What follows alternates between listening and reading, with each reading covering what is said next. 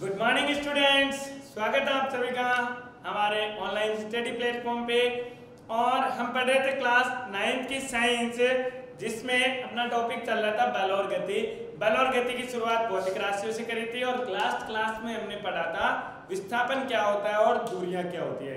एक बार वापस रिवीज करता हूँ। देखो, अगर आपकी स्कूल है, यहाँ पर आपकी स्कूल है और यहाँ पर आपका घर है तो घर से स्कूल की जो सीधी दूरी है, स्कूल से घर की या घर से स्कूल की जो सीधी दूरी होगी, उसको हम बोलते हैं क्या? विस्थापन। क्या बोलते हैं? विस्थापन। और अगर स्कूल से घर के लिए बोला जाए, जो कि किसी रास्ते, अलग रास्ते से होगी तो वो क्या हो जाएगी? दूरी। या फिर घर से स्कूल की बोला जाए, जो कि एक अलग पथ को तय कर रही है तो उस रास्ते की लंबाई जो होगी, वही आपकी क्या दर्शा रही होगी? क्या दर्शा रही होगी? दूरी दर्शा रही होगी। तो इस पे जब कंपटीशन की बात आती है छोटे छोटे क्वेश्चन की, क्योंकि उसके अंदर पूरी जनरल साइंस पूछी जाती है, और जनरल साइंस के अंदर आपकी नाइन्थ क्लास ही सबसे ज़्यादा इंपॉर्टेंट होती है नाइन्थ और टेंथ की पूरी विज्ञान जनरल साइंस में आती है। ध्यान रखना, जैसे जो पटवारी और पुलिस के जो एग्ज़ाम होते हैं, उन सब के अंदर जनरल साइंस नाम का एक चीज़ आती है और वो जनरल साइंस नाइन्थ और टेंथ की साइंस के क्वेश्चन होते हैं और कहीं से नहीं होते हैं। नाइन्थ और टेंथ क्लास में आप जितनी विज्ञान पढ़ोगे, वो पूरी की पूरी आपको वहाँ पूछी जाती है। इसलिए इन चीज़ों को थोड़ा सा ध्यान से पढ़े। चलो। और ये चीज़ें आपकी इलेवेंथ क्लास में फिर से काम आती है अगर आपने साइंस सब्जेक्ट लिया है तो। तो देखिए, हमने कल बात करी थी विस्थापन की, इसके ऊपर एक क्वेश्चन करते हैं। राम अपने घर से, चलो, रमेश।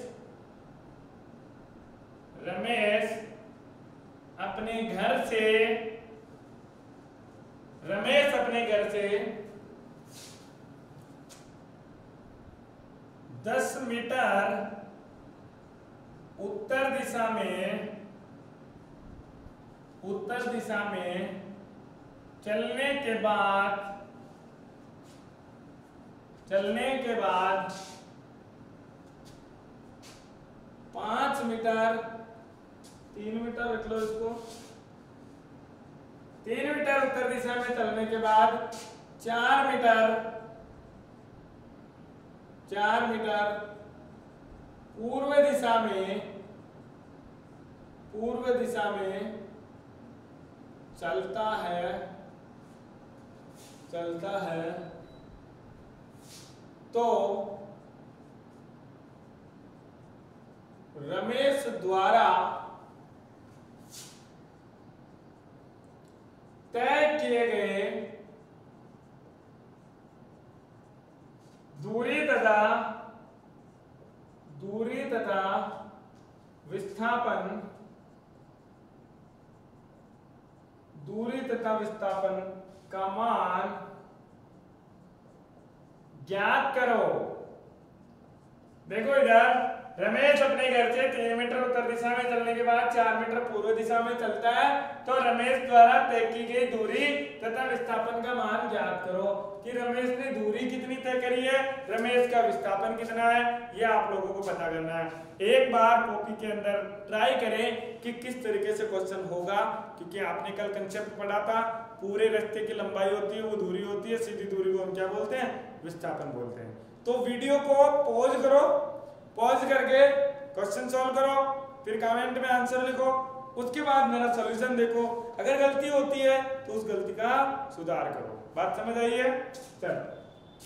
तो मैं शुरू करता हूँ। इधर देखो, रमेश कहाँ से शुरू हो रहा है? किसी भी बिंदु से शुरू हो रहा होगा तो ये बिंदु बना लो। इस बिंदु से तीन मीटर उत्तर दिशा में। तो ये हो गया तीन मीटर तीन मीटर उत्तर दिशा में चला। आपको दिशा पता होनी चाहिए। और दिशा क्या होती है? उत्तर, दक्षिण, पूर्व, पश्चिम। यही होती है। उत्तर, दक्षिण, पूर्व, पश्चिम। चलो। तो तीन मीटर उत्तर दिशा में चलने के बाद, पूर्व दिशा के अंदर कितना चलता है? पूर्व दिशा में चलेगा चार मीटर। चार मीटर, यहाँ से तीन मीटर उत्तर, फिर चार मीटर पूर्व में, और फिर रुक जाता है। अगर यहाँ रुक गया तो तय की गई दूरी क्या होगी? बिंदु ए बिंदु बी और बिंदु सी के मध्य की जो दूरी होगी, वही क्या हो जाएगी इसकी? कुल दूरी हो जाएगी। अगर वो कुल दूरी हो रही है तो कुल दूरी को कैसे निकालेंगे? कुल दूरी को कैसे निकालेंगे? देखो इधर। यहाँ से शुरू किया, तीन मीटर चला बी तक पहुँचा बी से शुरू किया, चार मीटर चला और सी पे पहुँचा। तो अगर रमेश यहाँ से शुरू होता है तो इधर जाएगा और फिर इधर जाएगा। तो यहाँ से यहाँ तक तीन मीटर प्लस चार मीटर। तो रमेश द्वारा रमेश द्वारा तय की गई, तय की गई कुल दूरी कुल दूरी कितनी हो जाएगी? ए से बी तक की दूरी A B plus B C A B कितना हो रहा है? तीन मीटर प्लस बी सी कितना हो रहा है? चार मीटर। तो कुल दूरी कितनी हो जाएगी? कुल दूरी बराबर सात मीटर। तो रमेश, कुल कितनी दूरी तय कर रहा होगा? सात मीटर की दूरी तय कर रहा है। रमेश, कितनी दूरी तय कर रहा है? सात मीटर की दूरी तय कर रहा है। अगर हमें सात मीटर की दूरी तय कर रहा है तो विस्थापन क्या होगा? और विस्थापन मैंने बोला है, अंतिम बिंदु से प्रारंभिक बिंदु की जो सीधी दूरी होगी, वही क्या हो जाएगा? विस्थापन हो जाएगा। मतलब अंतिम बिंदु देखो कहाँ पर है, प्रारंभिक बिंदु देखो कहाँ पर है, और दोनों के बीच में एक सीधी लाइन खींचो। ये जो सीधी दूरी होगी, वो किसको दर्शा रहा है? विस्थापन को। किसको दर्शाएगा? विस्थापन को। और विस्थापन दिखा रहा है तो ये देखो एक क्या बन रहा है? त्रिभुज बन रहा है। त्रिभुज के अंदर आपने पाइथागोरस प्रमेय पहले पढ़ रखी है, और पाइथागोरस प्रमेय क्या होती है? देखो इधर, दिए गए त्रिभुज में ए से सी तक की विस्थापन क्या हो जाएगा? विस्थापन बराबर ए से सी की सीधी दूरी सीधी दूरी। और सीधी दूरी क्या है? AC के बराबर हो रही है। AC के बराबर हो रही है तो त्रिभुज में, त्रिभुज ए बी सी में। त्रिभुज एबीसी में और त्रिभुज एबीसी में क्या हो जाएगा? AC का स्क्वायर बराबर होना चाहिए AB का स्क्वायर प्लस BC का स्क्वायर अगर ये बराबर है मतलब AC का स्क्वायर हमें पता करना है। AB कितना दे रखा है? तीन का स्क्वायर BC कितना दे रखा है? चार। तो चार का स्क्वायर। तीन का स्क्वायर होता है, तीन का वर्ग जो कि होता है, नौ। चार का वर्ग होता है, सोलह। चार का वर्ग कितना होता है? सोलह। तो नौ और सोलह कितना हो गया? पच्चीस। एसी का स्क्वायर बराबर आ जाता है पच्चीस तो एसी बराबर आएगा अंडर रूट पच्चीस। एसी का मान आया अंडर रूट पच्चीस तो मैं क्या लिख सकता हूँ? एसी बराबर पाँच मीटर होगा। एसी कितना मीटर होगा? पाँच मीटर होगा।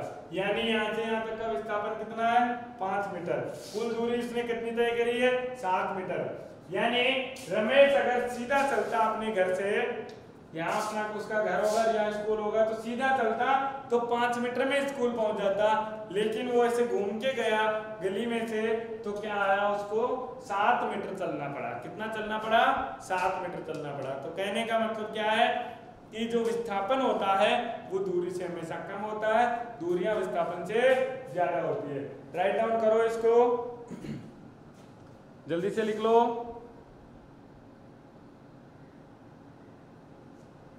चलो।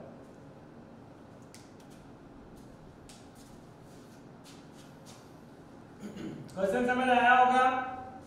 इसी तरीके के और भी क्वेश्चंस बनते रहते हैं। ध्यान रखना, विस्थापन कैसी है? एक सदिश राशि है। दूरी कैसी है? एक अदिश राशि है। विस्थापन में दिशा का भी ज्ञान होता है, जबकि दूरी के अंदर दिशा का ज्ञान नहीं होता है। केवल और केवल हमें परिमाण का पता चलता है। किसका पता चलता है? परिमाण का पता चलता है। इसलिए दूरियाँ अदिश राशि है, विस्थापन सदिश राशि होती है। चलो, अब हम बात करते हैं चाल और वेग की। किसकी? चाल, जिसको आप बोलते हो स्पीड। ठीक है? एक नाम आता है चाल और एक होता है वेग। तो दोनों में बहुत बड़ा डिफरेंस है। ऐसा नहीं है कि दोनों एक ही है। लगता दोनों एक ही है लेकिन दोनों बहुत डिफरेंस होती है। और वो कितनी डिफरेंस होती है वो हम बात करेंगे इसके अंदर कि इनके अंदर क्या क्या डिफरेंस होगा।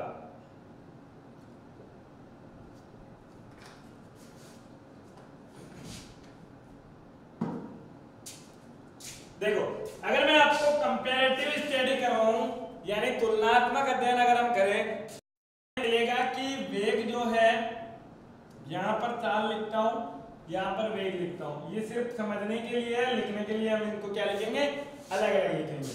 देखो, पहले जो हमने दूरी पढ़ी थी, दूरी आती है चाल के लिए और वेग के लिए आता है विस्थापन। क्या आता है? विस्थापन। बात समझ आई? चाल जो होती है, चाल का मतलब क्या होता है? चाल या वेग। आपको पता होगा, चाल मतलब हम क्या बोलते हैं? अरे, इसकी चाल देखो। है ना? इसका वेग देखो। गाड़ी की चाल इतनी है, मोटरसाइकिल की स्पीड इतनी है, साइकिल की स्पीड इतनी है, वो मोरे से, वो मेरे से ज़्यादा स्पीड में चल रहा है। ये बातें आप बोलते रहते हो। लेकिन क्या सोचा है कभी स्पीड होती क्या है? ज़्यादा स्पीड से चलने का मतलब क्या है कि एक सेकंड में जितना आप चल रहे हो, एक सेकंड में उससे ज़्यादा वो चल रहा है। बात समझ आई? मतलब आपने अगर एक सेकंड में दो मीटर चले तो वो एक सेकंड के अंदर चार मीटर चल जाएगा। कहने का मतलब वो ज़्यादा दूर तक जाएगा। और ज़्यादा दूर तक जा रहा है, इसका मतलब क्या है? ज़्यादा दूरी तय कर रहा है। यानी ये क्या हो गया? किसी भी सेकंड के अंदर दूरी तय कर रहा है, उसी को तुम चाल बोल रहे हैं। ज़्यादा दूरी तय कर रहा है तो चाल ज़्यादा है। कम दूरी तय कर रहा है तो चाल कम है। उदाहरण देखो एक ये है राजू। कौन है? राजू। और ये है, कौन है? काजू। राजू और ये काजू। एक राजू है, एक काजू है। राजू चलता है और इन्होंने बोला कि 10 मिनट के अंदर 10 मिनट में यहाँ पहुँचना है कि 10 मिनट में चलो कौन कितनी दूर तक जाता। है 10 मिनट में कौन कितनी दूर तक जाता। है दोनों ने भागना शुरू किया। राजू है तो राजू ने भी भागना शुरू किया। और यहाँ पे काजू है तो काजू ने भी क्या किया? दौड़ना शुरू किया। राजू और काजू दोनों भाग रहे हैं और इनको लगा कोई बैठा है एक, जो कि है, कौन है? रमेश या सुरेश? सुरेश बेटा। सुरेश क्या करेगा? घड़ी लेके है कि जैसे दस मिनट हो जाएँगे मैं बंद कर दूँगा दस मिनट होते ही मैं बंद कर दूँगा। तो राजू दौड़ा, काजू दौड़ा। राजू दौड़ते दौड़ते दस मिनट के अंदर यहाँ पहुँच गया। काजू दौड़ते दौड़ते दस मिनट में यहाँ पहुँच गया। इसका मतलब क्या हुआ कि दस मिनट में काजू ने ज़्यादा दूरी तय करी और राजू ने दस मिनट में कम दूरी तय करी। मतलब समान समय अंतराल है तो दूरी इसकी कम थी और इसकी दूरी ज़्यादा थी। क्यों थी ज़्यादा दूरी इसकी? क्योंकि ये तेज दौड़ रहा था। तेज दौड़ रहा था मतलब इसकी चाल अधिक थी, यानी दूरी अधिक होती है तो चाल भी अधिक होती है। और कितने सेकंड में कितनी दूरी तय करी है, वही तो क्या है इसकी? चाल होती है। क्या होती है? चाल होती है। तो बेसिकली मैं अगर बोलूँ कि चाल क्या है तो किसी इकाई समय में तय की गई दूरी जो होती है, उसी को हम क्या बोलते हैं? चाल बोलते हैं। तो चाल या स्पीड की बात करोगे तो वो होती है दूरी बटा समय। दूरी बटा समय। यानी अगर आप समय t बराबर एक सेकेंड लोगे तो एक सेकेंड में जितनी दूरी तय करेगा, वही चाल होगी। वही क्या हो जाएगी? चाल हो जाएगी। और अगर मैं बात करूँ वेग की तो वेग में क्या होता है? दूरी नहीं नापी जाती है। वेग में नापा जाता है विस्थापन। क्या नापा जाता है? विस्थापन। तो वेग की अगर बात करें तो वेग होता है विस्थापन कितना हुआ है? एक सेकंड के अंदर विस्थापन बटा समय। वो होता है वेग। चाल होती है दूरी बटा समय, विस्थापन होता है सॉरी वेग होता है विस्थापन बटा समय। तो देखो, दूरी कैसी राशि है? कैसी राशि है? पहली बात तो मात्रक की अगर मैं बात करूँ, क्योंकि हमने सबसे पहले ही पढ़े थे मात्रक, और मात्रक क्या होता है? दूरी का मीटर, समय का सेकंड। तो मीटर प्रति सेकंड। विस्थापन का मात्रक, विस्थापन भी एक लंबाई है, और स्थापन का मात्रक क्या हो जाएगा? मीटर। समय का मात्रक, सेकंड। समय का मात्रक, second. O my god! Metre प्रति सेकंड, मीटर प्रति सेकंड। यानी दोनों की विमाएँ और दोनों का मात्रक क्या है? सेम है। अगर दोनों का मात्रक सेम है तो आप कहोगे, सर, आप इनको अलग अलग क्यों बोल रहे हो? इनको अलग अलग है। काहे बोल रहे हो? ये तो दोनों एक ही बात हो गई। अरे लल्ला, एक ही बात नहीं है। दोनों क्या है? अलग अलग बातें हैं। क्यों है दोनों अलग अलग बातें? इधर देखो, ये मीटर प्रति सेकंड में है, ये भी मीटर प्रति सेकंड में है तो लगता है एक ही बात है। लेकिन यहाँ आ रही है दूरी। और दूरी होती है अदिश राशि। कैसी राशि होती है? अदिश जबकि विस्थापन कैसा होता है? सदिश। कैसा होता है? सदिश। तो ये अगर अदिश राशि है तो चाल कैसी होगी? अदिश राशि होगी। कैसी राशि होगी? अदिश। और वेग कैसी राशि होगी? सदिश। अब आपके दिमाग में एक और क्वेश्चन गुजरा होगा कि सर, अदिश और सदिश है तो हम क्या करें? है तो दोनों एक ही ना? हम चल रहे हैं तो चाल है, हम दौड़ रहे हैं तो भी चाल ही है, और उसी को हम वेग बोलते हैं। बोलते हो कि नहीं बोलते हो? बस बेटा ध्यान रखना, ये बात गलत है कि आप चल रहे हो तो वही वेग और चाल है। चाल अलग होती है, वेग अलग होता है। ये ज़ीरो हो सकता है, ये ज़ीरो हो सकता है, ये ज़ीरो नहीं होता है। अगर दूरी और समय है दोनों तो ज़ीरो हो सकता है, लेकिन ये कभी भी ज़ीरो नहीं हो सकता, क्योंकि विस्थापन ज़ीरो हो सकता है। अंतिम बिंदु और प्रारंभिक बिंदु अगर समान हो गए, अंतिम बिंदु और प्रारंभिक बिंदु समान हो गए तो क्या हो जाएगा? विस्थापन ज़ीरो हो जाएगा, इसलिए वेग ज़ीरो हो जाएगा। तो चलो, लिखते हैं पहले, और उसके बाद भी समझाऊँगा ज़ीरो कैसे होता है।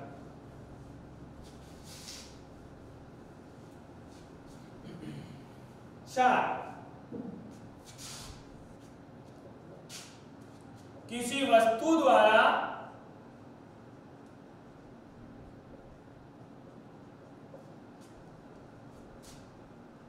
इकाई समय इकाई समय में तय की गई दूरी चाल कहलाती है चाल कहलाती है अथवा अथवा अथवा दूरी तथा दूरी तथा समय का अनुपात समय का अनुपात चाल कहलाता है। क्या कहलाता है? चाल कहलाता है। तो चाल बराबर क्या होना चाहिए गणितीय रूप में? दूरी बटा समय। अगर मैं बात करूँ मात्रक की तो मात्रक क्या हो जाएगा? मीटर प्रति सेकंड। मीटर बटे सेकंड और मीटर बटे सेकंड को ये हम प्रति एस बोलते हैं। क्या लिखते हैं? मीटर प्रति सेकंड लिखते ध्यान रखना, चाल का मात्रक क्या होता है? मीटर प्रति सेकंड और दूरी बटा समय। दूरी में समय का जब भाग देंगे तो हमें मिल जाएगी क्या? चाल मिलेगी। क्लियर है? और ये भी लिख लो। यह एक एक अदीस अदीस राशि है। कैसी राशि है? अदीस राशि है। तो चाल के बारे में लिख लिया है। इसे इसे हम किससे दर्शाते हैं? एस से दर्शाते हैं। इसे एस से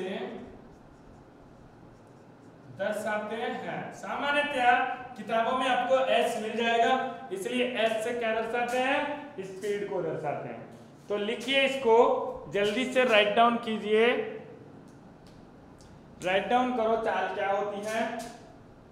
चलो स्क्रीनशॉट लो, बढ़िया रहता है बेटर रहेगा।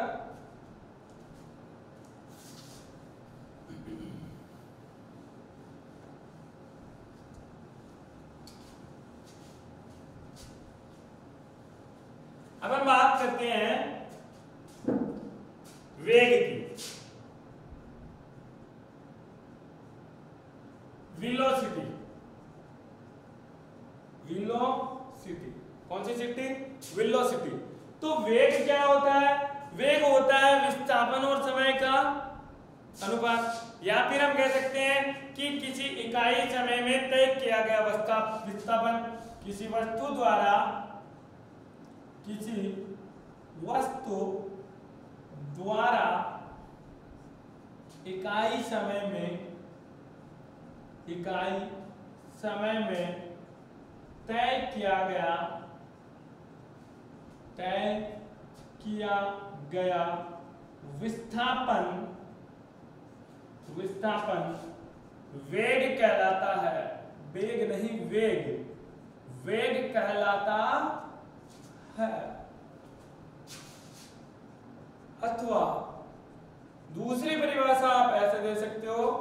विस्थापन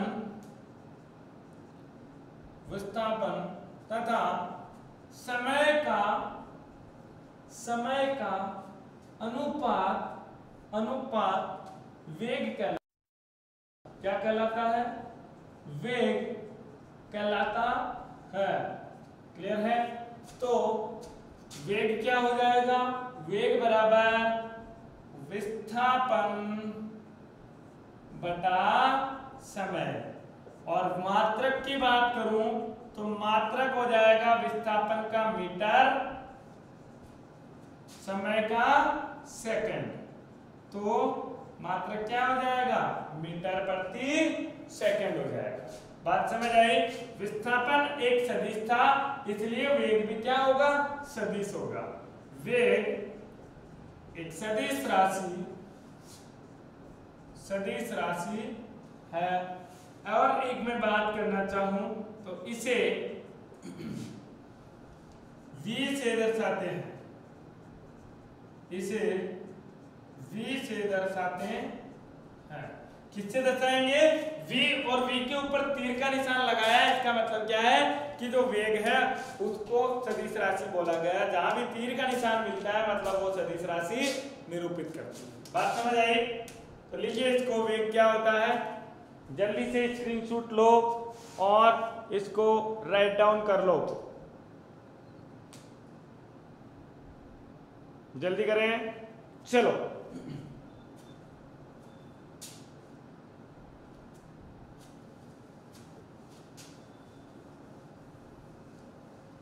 अब देखो, हमने वेग पढ़ लिया, विस्थापन पढ़ लिया। वेग और विस्थापन क्या क्या है? एक सदिश राशि है, एक अदिश राशि है। दोनों का मात्रक एक ही होता है, जिसको हम मीटर प्रति सेकंड बोलते हैं। क्या बोलते हैं? मीटर प्रति सेकंड बोलते हैं। लेकिन दोनों अलग अलग राशियाँ हैं, दोनों एक नहीं है, दोनों में भिन्नताएँ काफ़ी है। रात दिन का अंतर होता है। देखो इधर, पहले मैं एक क्वेश्चन देता हूँ आपको। उसी क्वेश्चन से हम समझेंगे वेग और विस्थापन के अंदर। तो दिए गए चित्र में वस्तु का, वस्तु द्वारा ए से बी तक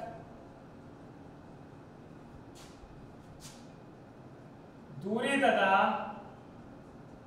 विस्थापन ज्ञात करो। विस्थापन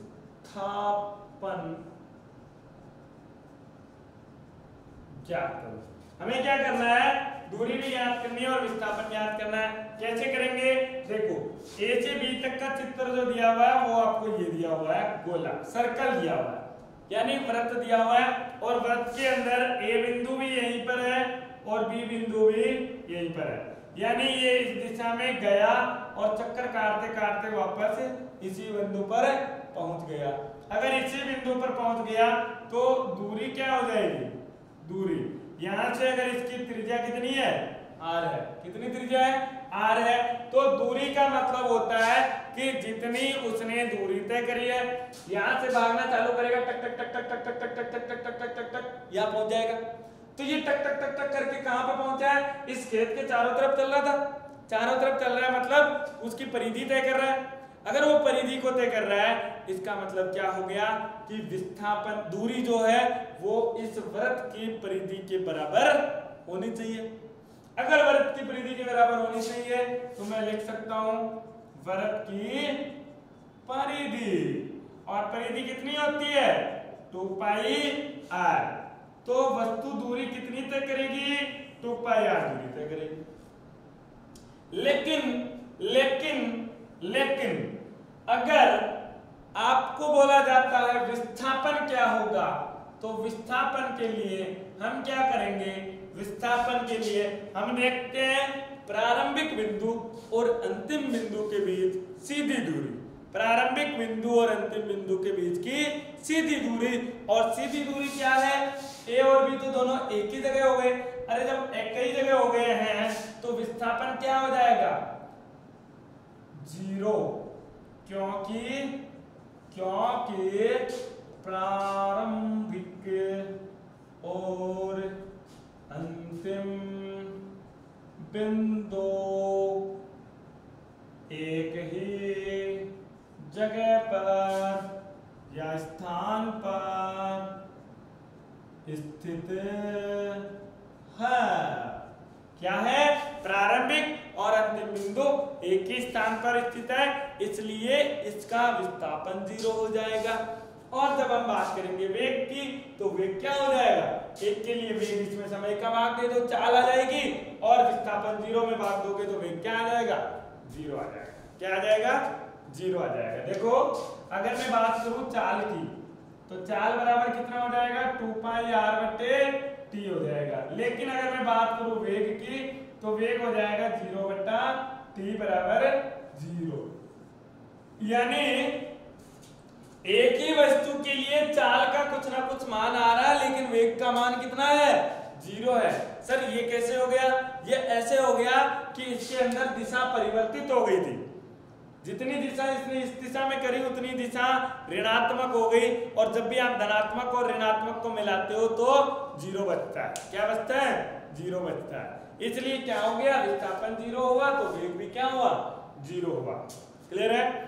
तो पढ़ते रहिए और साबुन से हाथों को धोते रहिए, क्योंकि बीमारी से बचना है, घर से बाहर नहीं निकलना है और मोबाइल में पढ़ते रहना है कि जो जो क्लासेस लग रही है, उनके प्रॉपर नोट्स प्रिपेयर करो, ताकि रिवीजन करते रहो।